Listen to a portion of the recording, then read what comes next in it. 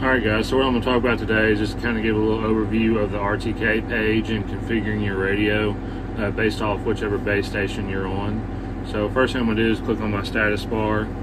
Here you can see I have my receiver right here. it tells me what type of receiver, whether, whether it's a 6000, a 3000, or the soon to come 7000s. tells me what software version I'm on, the last six of the serial number, right here is going to tell me the operating mode, so what correction signal I'm receiving, whether it be SF1, SF2, SF3, or RTK. Here it's going to tell me my accuracy levels and then uh, my signal strength. So I can click here, and then it takes me to kind of the home page of the receiver. There you see the position mode. So right now I'm in SF1. I'm about to configure it to RTK. So if I want to configure to RTK, all I need to do is come over here and click on my tripod Right now, operating mode is off, so I'll just click configure.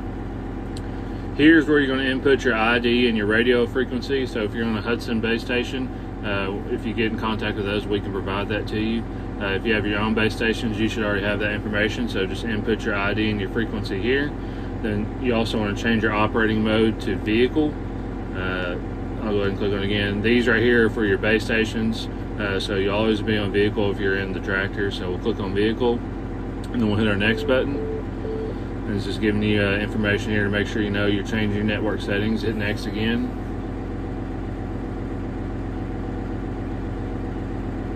Shows you configuration successful. If you wait a second and you'll see down here our radio data it'll slowly start to creep up to 100% and then we should get a notification at the top here once we receive radio RTK so RTK signal has been acquired and this right here is just kind of an overview of our RTK page. So these are just all of our inputs right here. So we put in vehicle and we put in our ID and our frequency.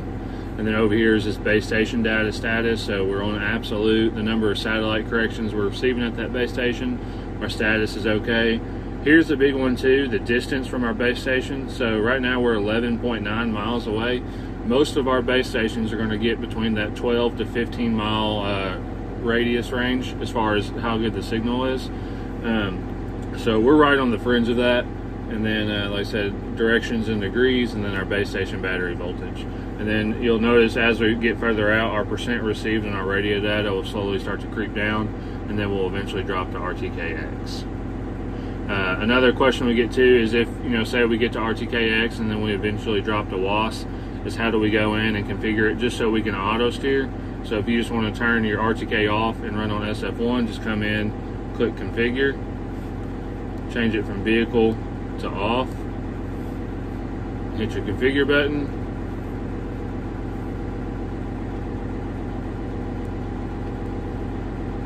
and now we're in 3D SF1. So now we're able to auto steer. For example, if we were outside of our RTK uh, operating area, then we could go in and do that just so we could use our auto steer.